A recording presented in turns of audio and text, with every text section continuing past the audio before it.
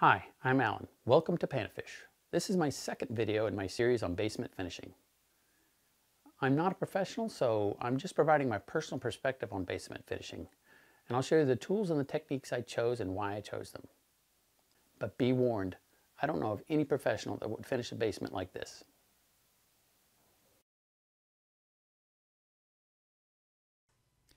Because my home is a ranch, it came with a large basement so I had plenty of area to set up a shop for my woodworking equipment. The other side of the basement is the area that will be finished for my wife's hobby area and as a possible guest room. This is the basic layout for that new room. It will include three doors and one window. So now that you've seen a virtual tour, let's go into the basement and see the real thing. The first step was to clear the area and put a rough layout on the floor using blue painter's tape. All of this reorganizing has left my shop a bit messy, but it sure is nice to have, especially with a large project like this. This is the wall where I installed the window in the previous video. And on this side of the basement were two problems that I initially wasn't sure how to handle. The sump in the corner and the electrical panel on this wall. Eventually, I decided the best way to deal with them was to make that side of the room a long storage closet.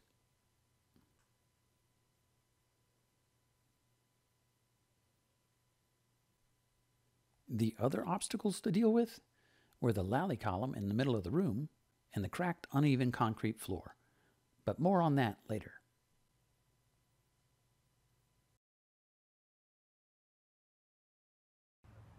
Initially, I made a rough estimate of how many 2x4s I'd need, and I went to several big box stores looking for some nice straight boards.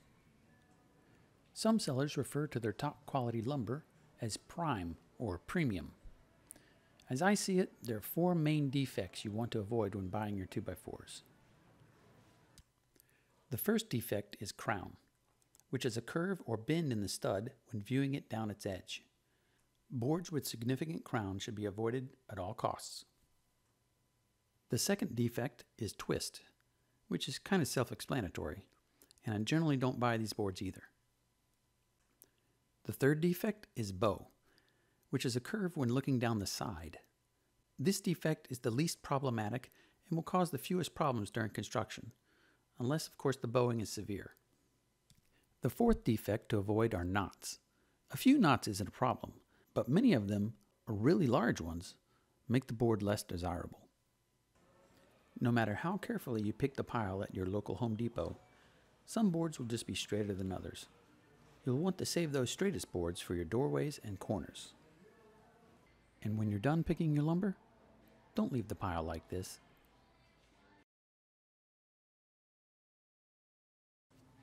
Unfortunately, when you buy lumber, it may feel dry, but it probably still has excess moisture. So that perfectly straight 2x4 can still curve as it dries.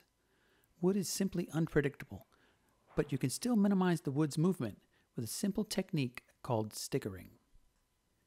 Using uniform strips of wood, you stack the 2x4s allowing for even airflow to all sides of each board. This, combined with the even pressure of the stack, will minimize warping as the boards dry. Before I could begin building the walls, I had to lay out their location by snapping chalk lines on the floor. To demonstrate how I laid out my lines, imagine this workbench surface is the floor, and the room is going to be a simple rectangular room. The most important factor is that the corners must be square. Failing to build walls with square corners will only lead to headaches and extra work later, especially when you install the drywall and the flooring.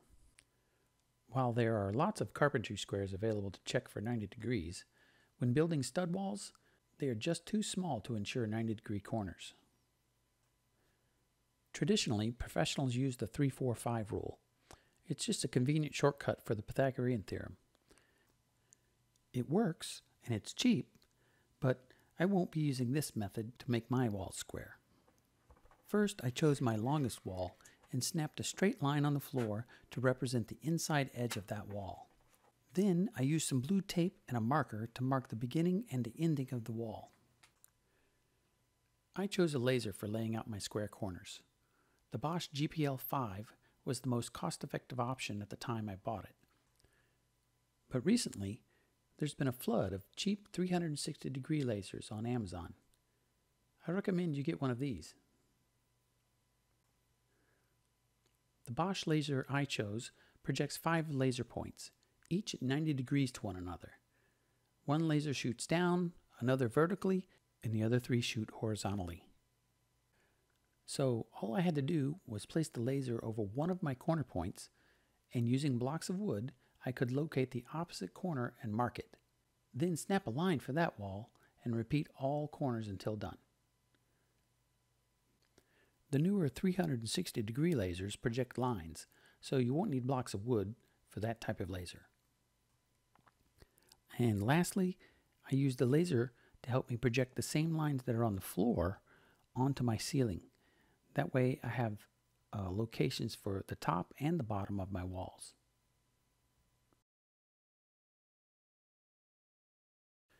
Many YouTube videos and professionals recommend building each stud wall flat on the floor and then standing it into position. But once again, I chose the hard way. Because of my uneven concrete floor, I chose to install the base plate and the top plate first, and then cut each stud to fit.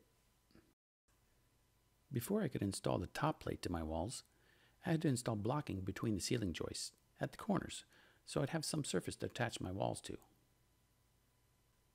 Here you can see the chalk line that I had snapped across the ceiling joist so I could position each top plate. To hold the top and bottom 2x4s in place while screwing, I used a couple of quick support rods. They turned a two-man job into a one-man job and provided excellent clamping pressure to hold everything in place.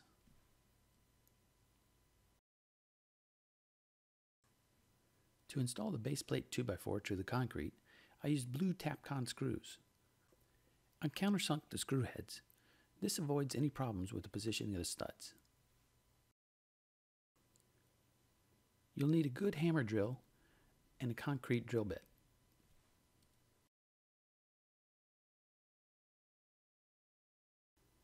It goes without saying that you'll need a good tape measure, but measuring long distances like floor to ceiling for each stud is real pain for one person.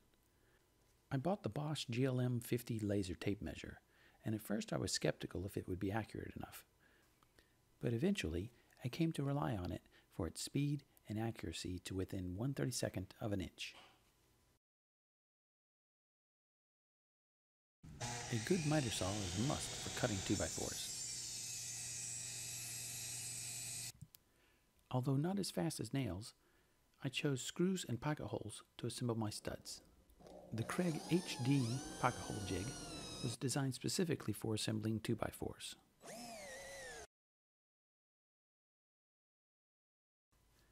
Standard 2x4 construction is 16 inches on center.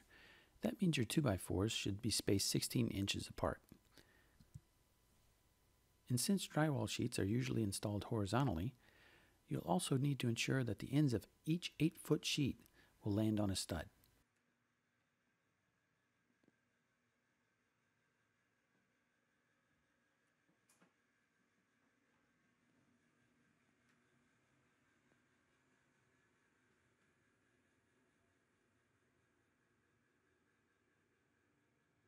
You'll also need to build mini walls or soffits around low-hanging ductwork or beams. It's not complicated, but make sure you keep everything square and plumb. Installing lighting and electrical is easy if you know what you're doing, but can be a problem if you don't. So I recommend you hire a professional. And if you do decide to do it yourself, be sure you do your research and check your local codes. Little did I know at the time, installing the studs would be the easiest part of my construction project.